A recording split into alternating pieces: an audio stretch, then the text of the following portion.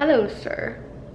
And hello guys, it is actually the next day now. My camera ended up dying last night when Meghan and I were together, but that was the last thing that I did yesterday and we just watched TV and hung out. I just wanted to come on and say hello and um, I forgot to let you guys know that I now am proud owner of my own and my first record player. Like didn't think I was cool enough to get a record player. Like it sounds so dumb thinking about it, but like I genuinely just was kind of like, I'm not like a cool enough like person to own a record player. And then Meghan was like, just get a record player. Like, what are you talking about?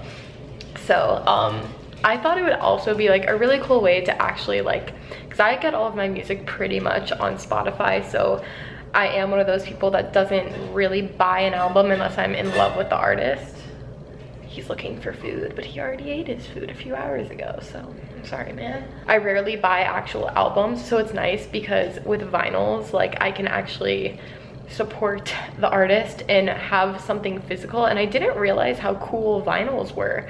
They're very, very like cool looking. So I'm gonna show you guys the vinyls that I got because I, I got them all off of Amazon, which is also where I got my record player.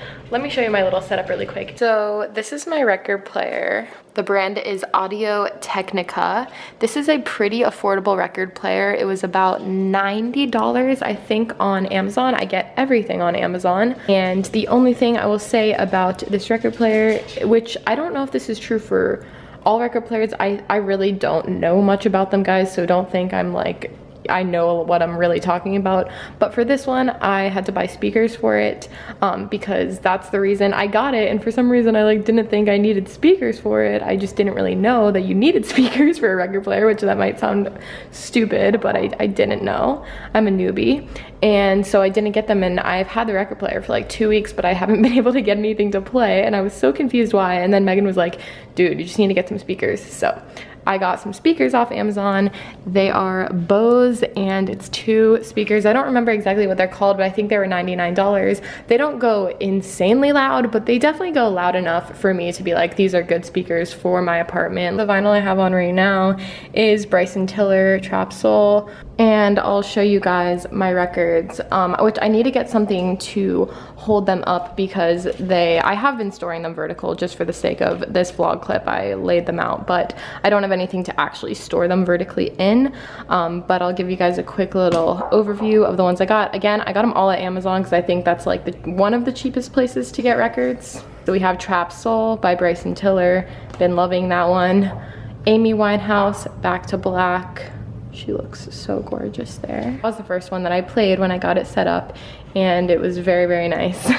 this is Foster the People Torches, which is their first album. In my opinion, this is such an underrated album. It's absolutely awesome. This album just is my type of like band music, like what I love bands to sound like. I don't know if that makes any sense, but I really love it.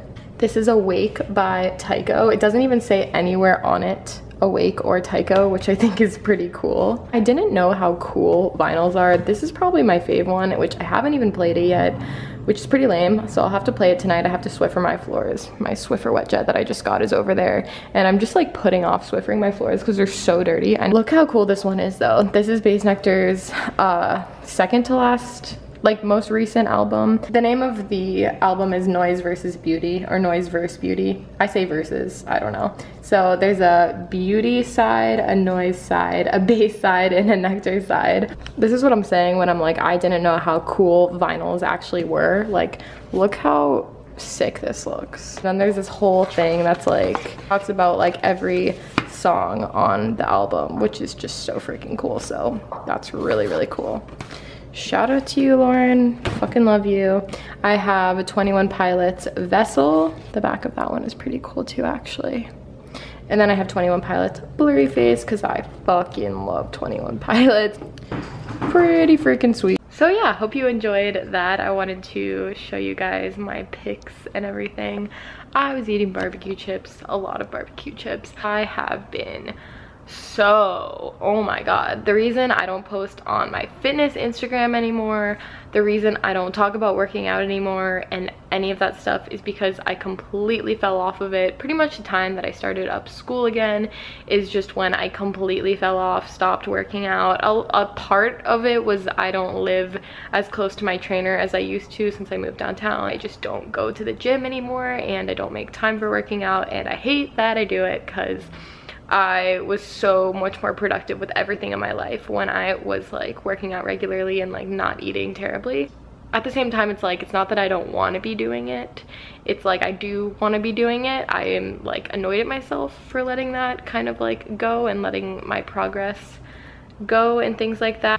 Around this time last year is actually like a month from right now. Last year is when I like started up. So I'm hoping, I'm actually meeting with my trainer tomorrow because we are working on something exciting for the future. I just would like to know how do you guys get back on track? What like what motivates you to get back on track when you've been off track for a really long time? Because I've been not working out regularly since like literally since like September or October. It's true. Like that seems so long right now thinking about that. Like that's when I moved into this apartment and that's when I really started getting bad. So I just don't feel good about it because I want to be like on track and I want to be healthy and not eating crap but I've been eating so much crap at least now that I live downtown I walk pretty much everywhere like I, at least I can say that I walk a lot but other than that i really don't do anything. So i would love to know your tips and your advice in the comments below and we can have a convo.